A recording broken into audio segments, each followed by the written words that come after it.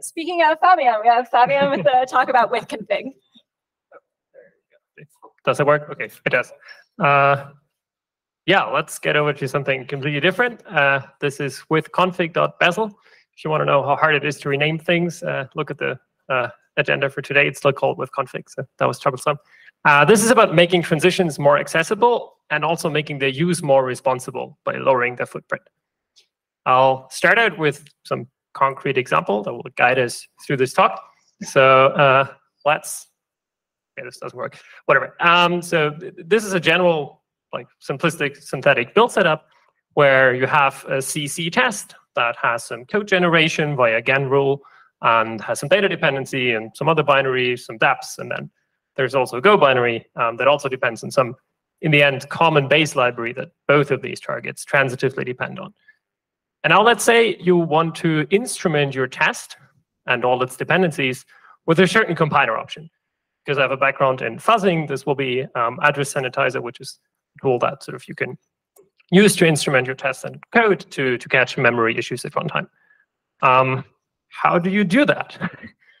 well, there are different ways. You can say, okay, I'll just set a C copt of something. The, the concrete value doesn't matter here. When you do that and you still want your developers to be able to just build everything, which is the simplest thing to do, this C-opt will leak to, for example, the CC library that's only used by the Go binary, which is not something you want because maybe the Go binary can't even deal with this kind of instrumentation. So that's not so good. What can you do? You can tell your developers that, well, if you if you want to use this flag, please only build these particular targets, and then I don't know, you maintain a Confluence page for that. But that's horrible. Like nobody wants to remember these flags and sets of targets. So you can get fancy. you can use transitions, which is a Bazel feature that essentially allows you to change settings for a target and all its dependencies, but to have that be isolated from all other usages of this dependency.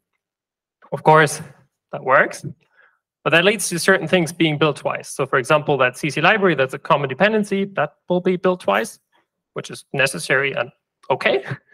But then, for example, your, your genrule will run twice, potentially.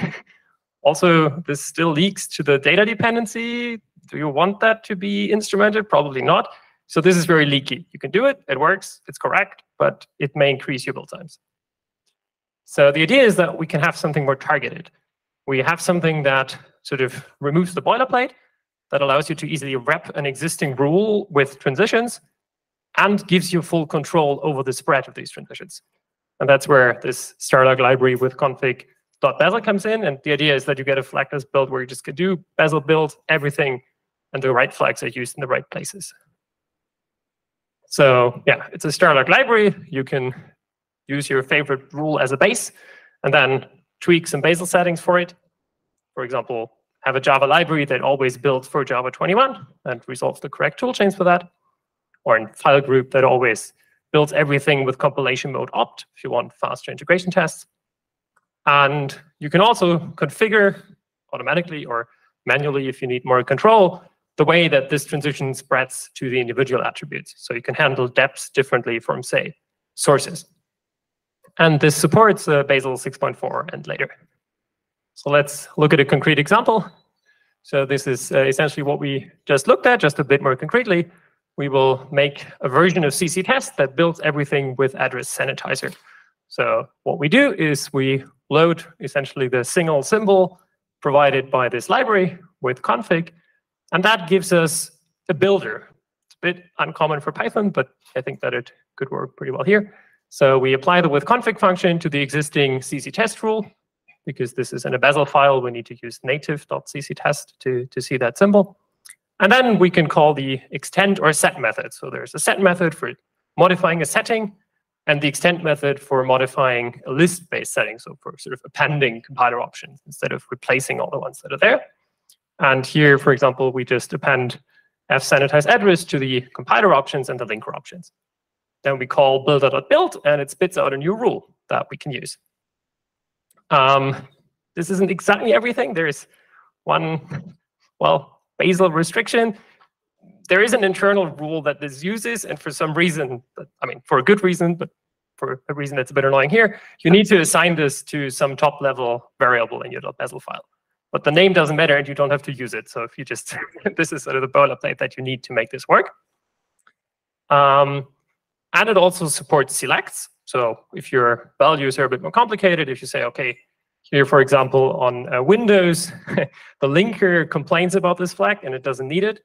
So you can actually hide that complexity in this new CC asan rule by uh, using a select. That just works with all the existing Bazel configurability features.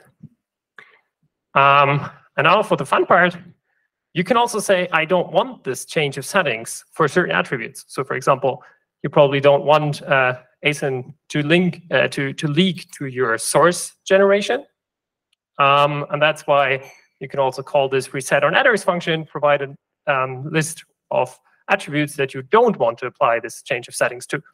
And then, well, uh, it will magically reset everything. And you also get, instead of this useless uh, underscore rule that we had on the previous slide, you get a rule with which you can manually reset certain dependencies. For example, in your Java 21 library, maybe some target builds only with Java 7. I hope that's not the case for you, but uh, reality says that this can happen. In that case, you can just wrap that target in this rule, and it will build with Java 7 just fine.